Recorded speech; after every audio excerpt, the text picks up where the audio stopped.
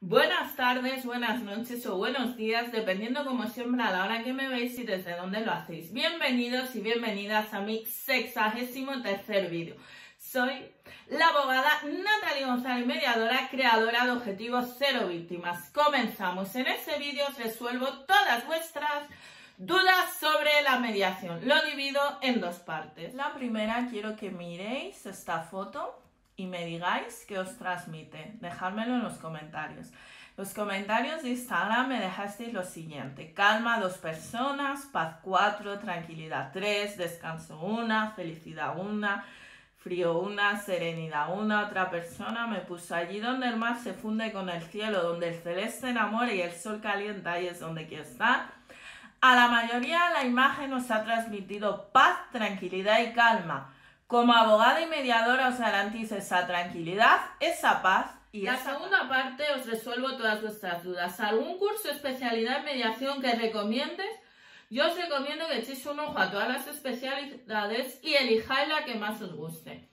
¿En qué ámbito es mejor dedicarse a la mediación? En el que más os guste. Yo actualmente soy mediadora especialista en civil y mercantil y también me gusta el de familia. ¿Quiénes son las partes en la mediación? Las personas que quieren resolver, que vienen a resolver sus conflictos.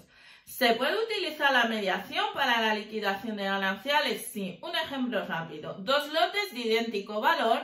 Las partes en mediación pueden explicar todas sus razones para querer uno en vez del otro en un juicio. El juez no escucha esas razones, lo reparte y listo. ¿Hay temas tasados? Es decir, en una sesión de mediación, las partes de qué pueden hablar, no hay temas tasados, las partes pueden hablar de todo lo que quieran. ¿Cuál es la duración de las sesiones de mediación? Normalmente cada sesión es una hora a una hora y media. Tienen que ser el menor número de sesiones posibles. ¿Las sesiones tienen que ser siempre presenciales? No, también pueden ser online. ¿La mediación es más rápida que el proceso judicial? Sí. Si me deben dinero, ¿es un asunto mediable? Por supuesto. Como mediadora, ¿das la solución a las partes? Nunca, nunca les doy la solución. Les ayuda a que sean ellas mismas, es decir, a que las propias partes sean quienes encuentren dicha solución. ¿Cuál es la mayor ventaja para ti de la mediación? El absoluto protagonismo de las partes. Esta semana en mi blog abogadanataliagonzalez.com os he dejado Consejos para gestionar un conflicto. Como siempre, en la cajita de descripción tenéis mis datos de contacto y mis redes sociales. No dudes en contactar conmigo. Te acompaño a encontrar la mejor solución a tu asunto.